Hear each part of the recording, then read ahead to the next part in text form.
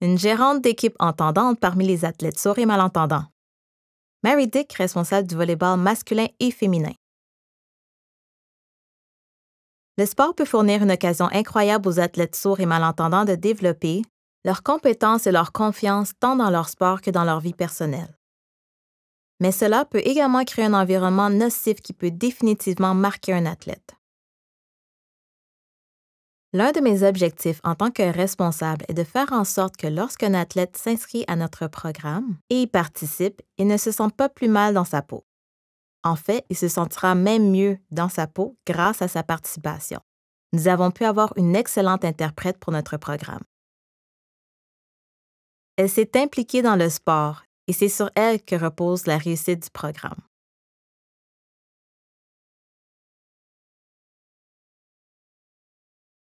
Elle s'est beaucoup battue pour faire entendre toutes les voix de nos participants, en plus de s'assurer que je comprenne la culture sourde.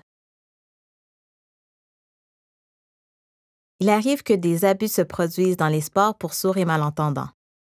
Comme dans tout environnement sportif, la possibilité de mauvais traitements se présente.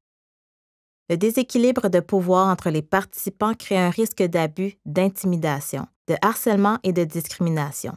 Un exemple dont j'ai eu la connaissance est celui d'un entraîneur qui crie dans l'oreille d'un athlète alors qu'il n'a pas tout à fait compris ce qu'était l'instruction. Les entraîneurs et les gérants d'équipe entendants doivent être conscients de l'importance de garder la tête haute lorsqu'ils parlent et d'utiliser une voix claire. Ils doivent aussi comprendre la fatigue cognitive qui survient lorsqu'il est question de saisir tous les mots, instructions et commentaires.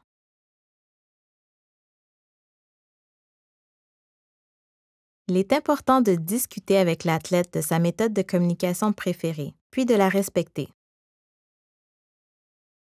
Les athlètes sourds et malentendants méritent de bons entraîneurs. Des entraîneurs qui ont une compréhension du jeu et une forte intelligence tactique et technique. Qui ont de bonnes compétences organisationnelles pour la planification de la pratique et de la saison des entraîneurs intègres qui possèdent des compétences pédagogiques et des compétences personnelles, telles que la compassion, la patience et le désir d'aider l'athlète à s'épanouir dans sa vie personnelle. Les entraîneurs doivent aussi pouvoir communiquer avec leurs athlètes. Quelques conseils pour les coachs et les gérants d'équipe.